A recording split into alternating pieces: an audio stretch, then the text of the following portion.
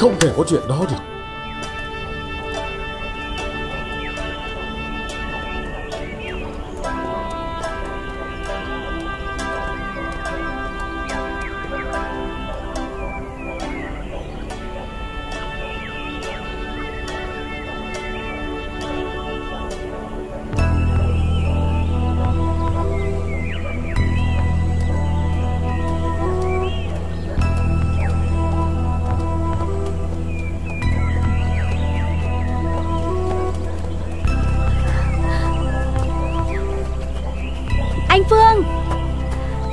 Có chuyện gì đấy cô anh?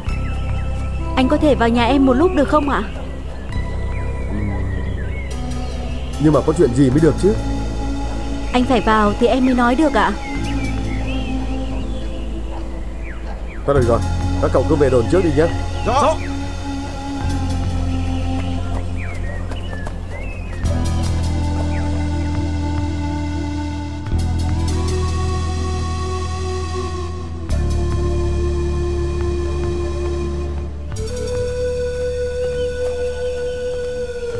Alo?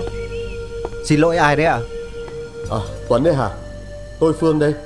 Ô Thủ trưởng Phương. Hôm nay thủ trưởng gọi bằng số máy bàn em không nhận ra. Thủ trưởng dạo này có khỏe không ạ? À cảm ơn. Mình khỏe. À, Chú Tuấn này. Tôi hỏi chú việc này nhé Dạ. Năm ngoái Vào cái thời điểm tôi chuẩn bị về hưu ờ, Anh em ở trạm mình có tổ chức liên hoan chia tay. Ở nhà cô anh giáo viên cụ thể? Cái đêm ấy nó như thế nào ấy nhỉ À em nhớ rồi. Hôm đấy vui quá. Lần đầu tiên em thấy thủ trưởng say. Đang tính đưa thủ trưởng về Thì trời đổ mưa. Mà lại có tin báo về trên đường biên có một nhóm buôn lậu. Nên anh em phải triển khai làm nhiệm vụ gấp.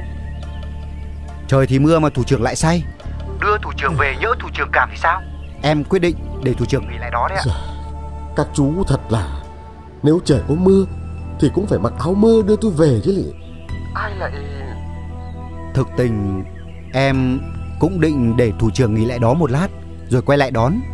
Nhưng không ngờ đêm hôm đó Bọn em phải làm nhiệm vụ đến gần sáng Nên À Mà tại sao hôm nay thủ trưởng lại nhắc đến chuyện này làm gì ạ? À không ừ, Thật ra thì không có chuyện gì cả.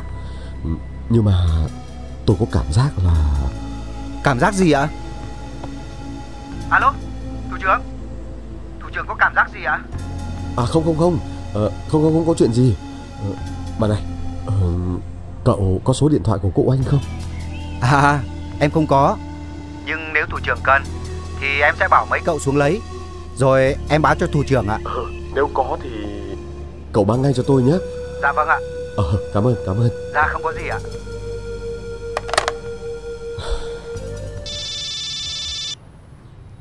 Bố để con bế cháu ạ. Ờ,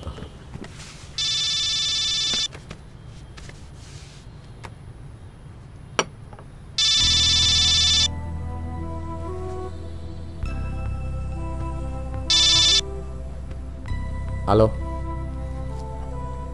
Được rồi. Chờ tôi nhé Tôi sẽ gọi lại ngay. Ông đi đâu đấy? Sao ông không ở trong này mà nghe? Ra ngoài đấy làm gì? ừ, Có người người ta cần hỏi ý kiến tôi ừ, Tôi cũng cần phải suy nghĩ Hơn nữa Ở trong nhà tôi thấy bà không vui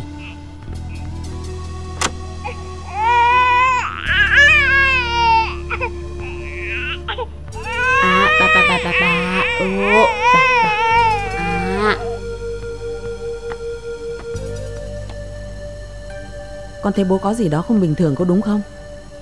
ừ, Dạ không ạ. Con thấy bố vẫn bình thường. Mọi ngày ông ấy rất đàng hoàng khi nghe điện thoại.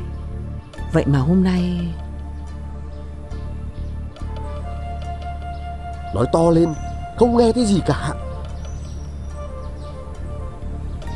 À thế hả? Thôi nói ngắn gọn thế này nhá. Cái thời gian vừa rồi Cô ta có mang bầu Hay là sinh nở gì không? Hả? Dạ báo cáo thủ trưởng.